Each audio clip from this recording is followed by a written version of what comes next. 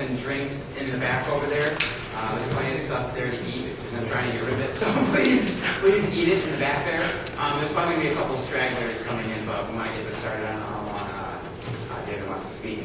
Um, first of all, my name is Kevin Zichterman. I am Vice President of Amnesty International here, which is one of the sponsors um, also treasurer and secretary of another sponsor, Environmental Law Society. And we also have um, the Calvin Faith Network for Peace and Justice co-sponsoring this event, as well as International Training Office here at NIU. Um, so again, feel free to get up and get uh, items. Um, I'm going to turn it over to uh, Steve here with the, uh, the Faith Network for Peace and Justice. And then I believe Rey is going to be introducing our speaker, uh, David Crash, uh, Kraft from the Nuclear Energy Information System. Um, you should be very entertaining tonight. So.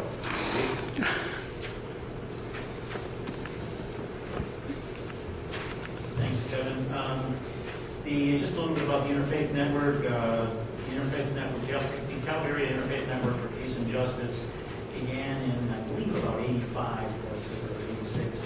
Uh, we began by uh, fighting U.S. policy in Central America civil wars going on, and we, uh, we challenged U.S. policy in regard to those. Since then, we've been, been involved in a variety of other peace and justice issues. And uh, on a personal note, um, I remember a discussion on National Public Radio about why it's taking so long for the federal government to figure out what to do with nuclear waste. The year that that took place, 1976 they were wondering why it took so long then. And we still haven't figured it out. I, I expect we'll talk about some of that today. And then um, I wanted to uh, turn it over then to uh, Dr. Rey Ty for introducing our speaker from the International Student or uh, International Training Office. Thanks, Steve. I'm uh, Rey Ty with the International Training Office. I was trying very hard to get a lot of student support for this and it's very hard to sell the nuclear issue as an environmental issue, especially even if it's the uh, environmental month, the Earth Day. And I'd like to thank uh, the two organizations, the College of Law, Amnesty International uh, College of Law, through Kevin Zichterman, and also the Environmental Legal Society, the Environmental Law Society, Megan, she couldn't be with us today and finally I got my office to approve my request that this be our co-sponsored project, without which we could not have the official stand for our uh, publicity purposes. And I'm glad some non, uh, uh, people who are not members of the organizations are here. And I'm sure we'll have very interesting questions. My two friends from the Ukraine are here, so we'll have questions about Chernobyl for sure, and others. So uh, our main speaker for tonight is the director of the Nuclear Energy Information Service, which is a non-profit organization committed to ending nuclear power. And they have three main objectives. The first is to educate, activate, and organize the public on energy issues. The second is to build and mobilize grassroots power and nonviolent opposition to nuclear power. And the third, to advocate sustainable and ecologically sound energy alternatives. There are many things you can get in terms of information from uh, his office, the NEIS, the Nuclear Energy Information Service. Uh, you can invite them to come to your classes, to special events, the Speakers Bureau, the easy access to their information as well as research database. Uh, I know you are dying to hear our speaker give his speech. Please welcome David Kraft.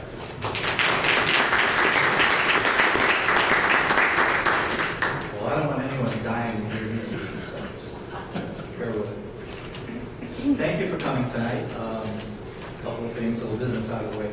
Uh, this is uh, rather typical for an audience on nuclear issues, is my experience in about the last 30 years. Uh, so there should be no feelings, you know, don't feel bad about the turnout or anything like that. It's very typical. We did a, a free film showing in downtown Chicago, Chicago filmmakers, on a nuclear film not too long ago. Uh, they usually get 50 to 60 people to see the film for free at uh, Columbia College. And when we started the movie, three people were in the audience. I was one of them. And by the time we started the discussion, we had ballooned up to eight. So um, this is the nature of this issue. This is the nature of the consciousness of this nation, perhaps even internationally, on this issue. So no need for apologies. Let's clear that right away. Uh, second thing, um, I, in my enthusiasm to get here and be with you and, and get going and whatever, I left my presentation in the car. So uh, this is a first-time presentation. I can follow along on a slideshow, so it's going to be a little ragged because it's not all up here yet. Done it a few times. So you, you're the virgin audience. You know, you get to be the critique of how good a show this is. Now, when I accepted the opportunity to speak here on Earth Day 43, uh, Rey sent me some guidelines, and Seal Meyer sent me some thoughts, and uh, people wanted me to cover legal aspects and law issues, and maybe radioactive waste, and possibly Korea, and then there were about five or six or seven other things that we were supposed to cover in an hour. So I had all this on my desk, and I was thinking, maybe I should finish my calculations for the unified field theory first. so this is what you're going to get. You know, it's a little raw, a little ragged, but I think it'll fit the bill. For me, uh, this is not as important as the question and answer session. It's what you want to get out of this tonight that's important. So it, it'll be your thoughts, your discussion, your question. That'll be the meat of what's happening. What I'm going to do is lay out what we see are the important, the salient issues facing Illinois, the nation, perhaps the world on some of these nuclear matters. Uh, I'll try and get you up to date on some of the, the current legislation and things that are going on. And from there, hopefully, we'll launch into the question and answer part and we'll make all these pieces fit tonight. So, first off, happy Earth Day, day 43 and all, right? Yeah. They all celebrate to do something besides come here? What a downer. Anyway, It's a beautiful day. yeah. Actually, a lot of my presentations have a subtitle of the Davy Downer Show because a lot of times when I come in and, and talk, it is about very disturbing issues, difficult issues. So we'll try and uplift you by the time the evening ends as much as we can. Because we will talk about, if not nuclear, what else should we be doing? So, Earth Day 43. First one, 70 years ago. President Richard Nixon was in office. And people might not realize this, but Richard gave us things like the EPA, Clean Air and Water Act, Earth Day, first one started by uh, Gaylord Nelson of Wisconsin, a senator. And at the time he was uh, dialoguing with a graduate student, a guy named Denis Hayes, who wanted to put this environmental event together. And so Nelson asked him, when, how soon can we get this thing going? And Nelson and Denis said, well, my spring break is between here and here, so how about April 22nd? So this is the significance of spring break. The spring break for Dennis Nelson 43 years ago. No other significance to April 22nd, right? I promise. So, um, the other interesting fact, though, about the, the, this being uh, Richard Nixon's dynasty at the time, was he was very, very excited about the prospect of bestowing a thousand nuclear reactors on the coasts of the United States by the year 2000, which of course would give us unlimited electricity, too cheap to meter, and all that other stuff that you've ever heard about nuclear power. But as we, as many of you know, not all of you know perhaps, we never made it to a thousand. In fact, we peaked, I think, at 105 or 6, and we've been sliding down ever since. So I'm going to give you a little background on the current status. Oh, here's something I wanted you to know about Denis Hayes before we move on here. That, uh, you know, that when he first started Earth Day, he was kind of green behind the ears and stuff, but uh, after a while, he created a movement out of this, and internationally, Earth Day is celebrated everywhere. Never ever during the whole course of these Earth Day things did he ever select a theme for a, for a Universal Earth Day, except in 2001, when he declared that this will be the Clean Energy Earth Day. And who did Chicago pick as its corporate sponsor for the Clean Energy Earth Day but Commonwealth Edison Exelon Corporation, which had fought every clean energy initiative ever to hit Springfield at the time. So I think Denis kind of got the message back then. Uh, If you can't read back, I did encourage you to come up. Remember, I told you to cover your eyes and feet. If you can't, I'll read it to you. Denis said some words of wisdom uh, at Earth Day 40 about nuclear power. He said, "We've been offered a lot of false promises and greenwashing during those years since the first Earth Day. And we've acquired what Hemingway called the indispensable crap detector. Only the most gullible are buying what the nuclear industry is selling. The climate clock is ticking. Let's not hop from the climate frying pan into the nuclear fire. Let's not waste more time and money on an outdated nuclear technology that has already flunked the market test. So that's the founder of Earth Day's take on nuclear power. You may have your own, and by the end of the night, it may change one way or another, but just want you to know how the founder of Earth Day feels about. So here's some basic info for you. Worldwide, we're talking about 440 reactors. So even worldwide, we didn't reach Richard Nixon's goal of 1,000.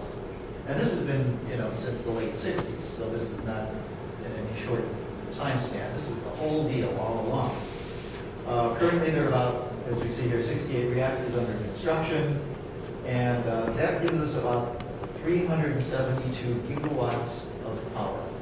Gigawatt is 1,000 megawatts.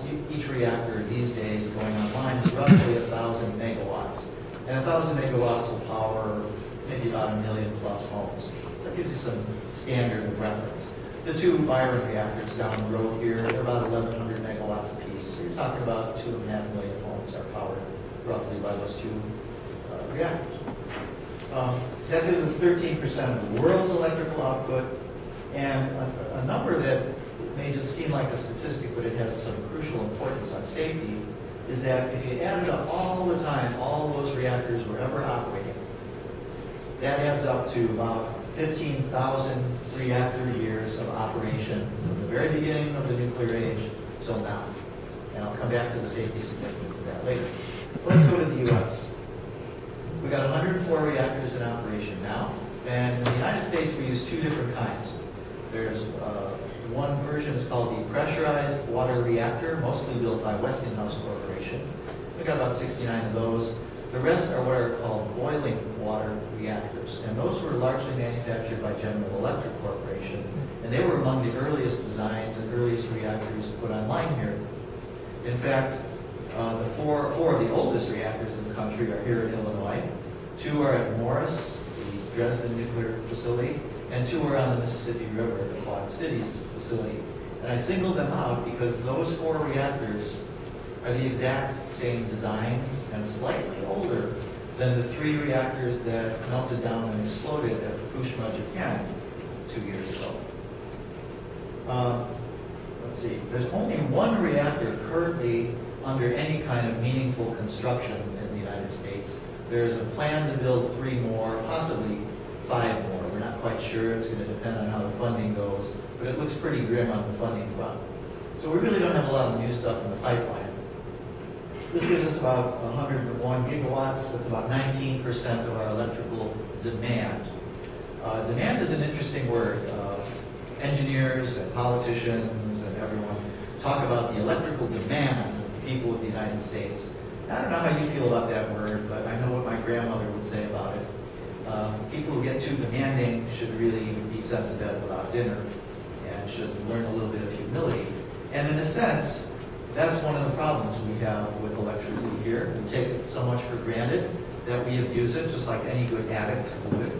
And uh, we waste a lot of it. In fact, even though we get 19% of our electricity from all of those 104 nuclear reactors, four separate studies beginning in the year 2000 through the year 2010 concluded that we waste somewhere between 24 and 45% of all the electricity we generate. So in other words, we are wasting, just through inefficiency or energy choices, uh, waste, uh, roughly twice the entire output of the entire nuclear industry of the United States. If we would just get a little bit smarter, we wouldn't need those likely. In fact, uh, I use the analogy of a farmer who has a bucket. He brings it out to the pump, and the bucket's leaking like a sieve. He's pumping, and the water's coming out. And a salesman comes up to him and says, farmer, I can solve your problem. I'll sell you a bigger pump. That's exactly what the nuclear industry does to the United States. We have an incredibly leaky bucket, and they're perfectly willing to sell us bigger pumps, a gigawatt in size. I should also point out that even though we have 104 in operation, we have 28 closed. 20 of those are commercial size, meaning they were operated by some utility at some point. The others are small research reactors that were scattered around the country for a variety of purposes. Here's a a rough map. It's kind of, might be kind of hard to see from the back again. Uh, it is color coded, and what's significant here is, if you can see in- the back there, the light blue dots are the older reactors in the country. And the dark green dots are the newest reactors in the country. So we seem to have a sort of geriatric problem approaching the- the American nuclear industry at this point. Many of them have already reached, not, not many, but some of them have already reached their 40-year licensed uh, age span. They, many, in many cases, they were granted an additional 20 years of operation. But uh, the point is, uh, they're kind of old. I don't know how many of you came here tonight in your 1948 Fords. Please stand if you did. Uh, That's essentially what we're getting down to with the nuclear reactors in this country. Getting old. Now, you do replace worn out materials and, you know, machinery and stuff like that, so not trying to be too silly here. The point is, though, these things are getting old, and they will break if if stressed the wrong way. You are in the nuclear heartland, my friends. Nuclear Illinois, we are the largest user of nuclear power in the United States. We have 14 reactors here. 11 of, our, of them are operating and three are closed. If we were a nation, we would be number 13 in the world. China just beat us out recently, so don't take it too hard. But, uh, we will persevere, I'm sure. But the problem with having the most reactors is we also create the most nuclear waste. In fact, we have about uh, 8,600 tons of high-level spent radioactive fuel sitting mostly at the reactor sites where they created the fuel.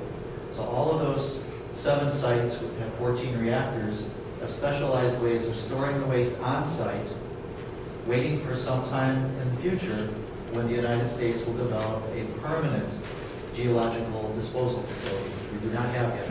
And again, don't feel bad about that, because nobody else does either. You know, we're 60-some years into the nuclear age, and now they're figuring out they need a bathroom. I don't know, I, I was growing up in Chicago, I, I was stunned tonight, a high school classmate who I hadn't seen since high school showed up and introduced himself. When we were at Lane Tech in Chicago in the 60s, they were building the John Hancock Center Michigan Avenue downtown, and I used to hang out at Oak Street Beach. And I didn't realize it then, but I'm watching this thing go up, and I'm really impressed. And about 30 or so years later, when I started this group, another thought occurred to me, that at the same time Hancock was being built, a lot of those Illinois reactors were being built. And it finally clicked with me, what if they built the John Hancock building without bathrooms? And knowing that they would have to tear it down in 40 years, what would it look like? Would they have gone ahead? I'll let you decide. You know? U.S. Senate, I believe it was the Senate, not House. Um, They did that when they constructed the last Senate office about 30 years ago. They got it finished and realized they left out all the Okay, so this is the American know-how. But, uh, so that- that's a problem, you know, that we have this industry, and it's not just a, a U.S. problem, this is an international problem. Nobody has an environmentally acceptable, permanent disposal uh, system in operation for high-level radioactive waste, all of these decades into the nuclear age. That applies for weapons as well as commercial spent fuel. So, nobody built the bathroom, and I see a lot of silver and gray hair in the audience, so this is not really directed so much to you, but the rest of you are in for it. But unfortunately, we're passing, you know, the bucket full of manure to you to figure out what to do with for the next 10,000 years or so. We didn't do our job, and I apologize. Um, After 9/11, we added another feature to this map, uh, something very unique to Illinois. It's called O'Hare Field. Because we figured if the worst pilot on record in aviation history, who couldn't even fly a single engine airplane, could get a hold of a sophisticated twin engine 757, execute a 180 degree turn, and go for a mile at treetop level and hit the third floor of the Pentagon, we figured there's a possibility some idiot might try and ram an airliner into a nuclear plant. So that's why we put O'Hare Field on the map and drew lines out from that. And you can pick up a copy of the map here at the display um, before you leave tonight. Happy to autograph it for you if you really want. The idea is though, every one of the reactors in Illinois, and even out of Illinois, across the lake in, in western Michigan, are less than 30 minutes of normal looking flight time to O'Hare Field, which is, depending on the year, either the busiest or the second busiest airport in the world. 3,000 flights or more a day. I, when I used to fly to Germany, I recognized that, oh, a fully loaded outbound airliner leaving O'Hare flies over the west coast of Lake Michigan, and down below me was the former Zion Nuclear Power Station, which has about a thousand tons of spent reactor fuel sitting there waiting for disposal. When I came back from Germany, the flight path was right in between two sets of reactors on the Michigan coast of Lake Michigan. So Yes, you know, there are no-fly zones and there are interdictions and the Civil Air Patrol will steer them away, but they're only gonna have a couple minutes to do it if somebody really gets serious about taking out one of those reactors using an airline. So, I hear there's some lawyers here tonight, so I gotta deal with the law somehow, so I will do that. What I wanna do, to start out with, is give you the kind of legal and regulatory framework, because many people who I encounter in audiences and presentations don't share my opinion about nuclear. They feel that we have a government that's responsible, it's been in place over 200 years. They've set up a commission, a nuclear regulatory commission that regulates the nuclear industry, takes care of safety matters for the United States, and they feel comfortable about that. Uh, I'm afraid I may have to shake that uh, image up a little bit tonight, but at least I want to give you the on paper framework for how things are supposed to go. We call that the platonic form of nuclear power. Those of you who, any U of C graduates here, University of Chicago?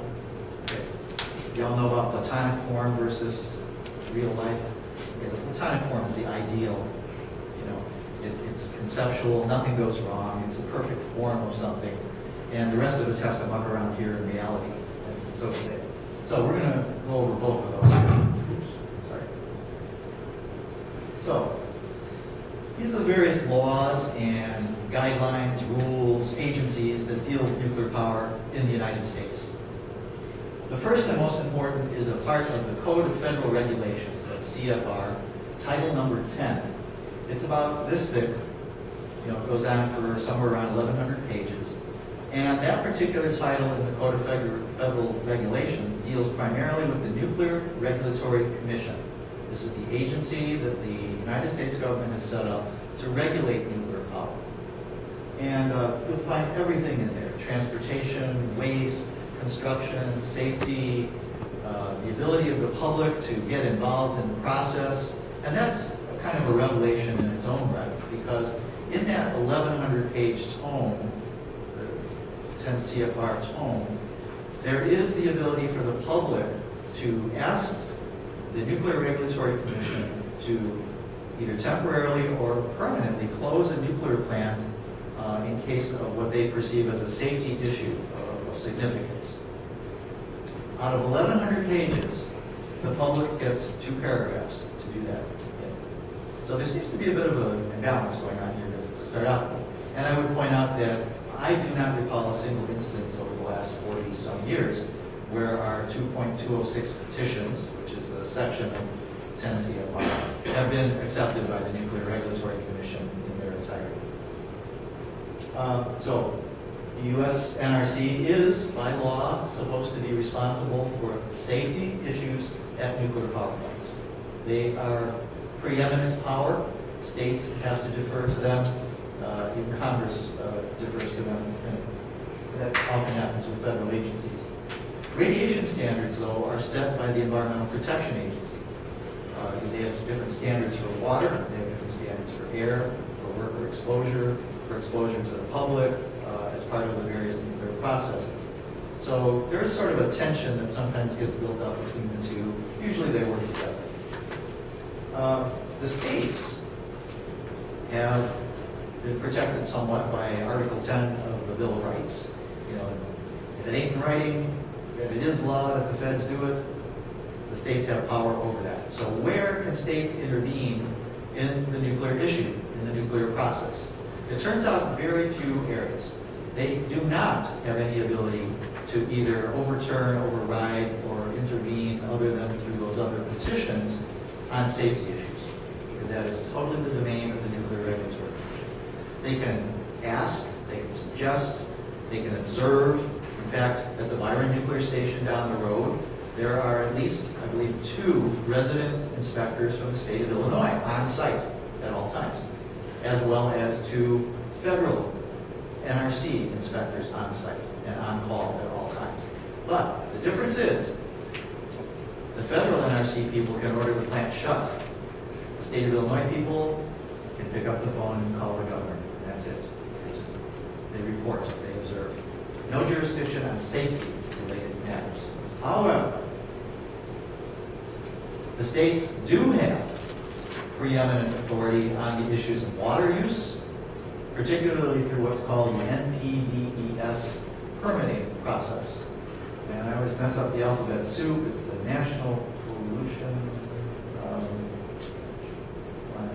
pollutants, oh, I always mess up. Anyway, it deals with, uh, putting pollution in the water, and it's the regulatory method for that.